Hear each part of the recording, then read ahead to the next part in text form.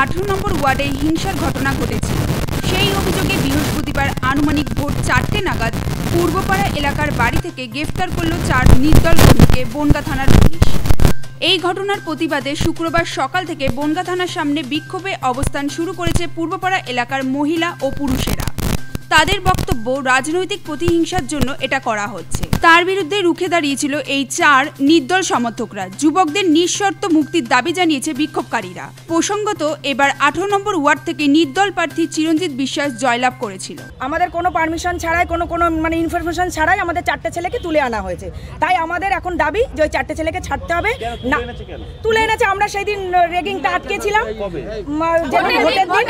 তারপরে সেই ছাপ্পাপড় দিতে গেছিল আমরা আটকেছিলাম পুলিশ প্রশাসন আমাদের কথা দিয়েছিল যারা রেগিং করেছিল যারা আমাদের মধ্যে পাড়ার মধ্যে কিছু দুষ্কৃতীরা ওর মধ্যে ঢুকে গেছিল আমরা সবাইকে তাড়িয়ে দিয়েছিলাম আমরা মারও খেয়েছি তারপরে প্রশাসন কথা দিয়েছিলেন তাদের কিছু একটা ব্যবস্থা করবেন কিন্তু তারা কোনো ব্যবস্থা করেনি। তার পরিপ্রেক্ষিতে আমাদের লোকেদেরই চারটে ছেলেকে ধরে এনেছে কালকে। আজ আজ ভোরবেলা চারটে নাগাদ সাড়ে তিনটে চারটে নাগাদ আমাদের যেগুলো নিরীহ ছেলেদের কোনো ক্লেম নেই। আপনারা দেখুন আপনারা দরকার হলে থা- থানার রেজিস্টার চেক করুন।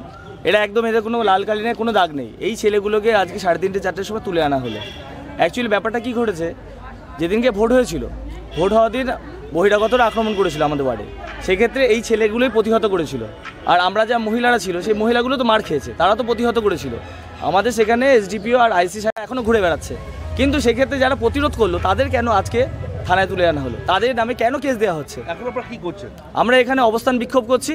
আমাদের একটাই দাবি যাতে আমাদের এখানে যাদের জানানো হোক যে কী জন্য তাদের তুলে আনা হলো কী রিজনটা জানানো হোক না হলে আমরা এখানে অবস্থান বিক্ষোভ কারণটা জানাতে হবে নাহলে এখান থেকে আমাদের ছাড়তে হবে। বলছি না, কিন্তু আমাদের আঠেরো নম্বর ওয়ার্ডে এতদিন ধরে শান্তিভাবে আমাদের ভোট হয়েছে।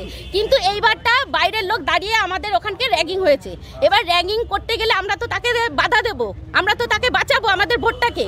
এবার বাঁচাতে গিয়ে যারা বাঁচিয়েছে তাদেরকে রাত্রে ধরে এনেছে। আর আমরা যাদের জন্য ক্লেম করেছিলাম এবং যাদেরকে উনি কথা দিয়ে আমাদের ইভিএ নিয়ে চলে আসলো পুলিশ, কিন্তু তাদের কোনো অ্যারেস্ট করা হলো না। কিন্তু এই নিরহ চারজনকে রাতের অন্ধকারে কেন এদেরকে তুলে আনা হলো আমরা জবাব চাই।